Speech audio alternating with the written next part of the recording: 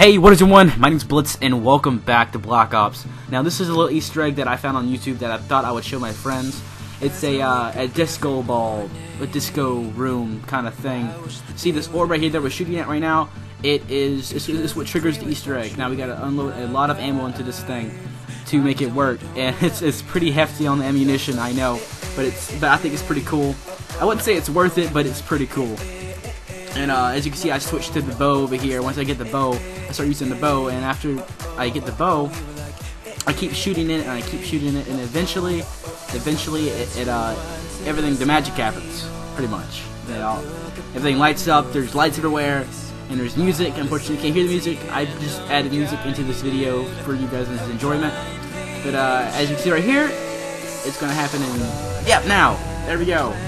The uh, disco ball, disco room Easter egg. I hope you all enjoyed. My name is Blitz, and I will see you in the next video. Peace!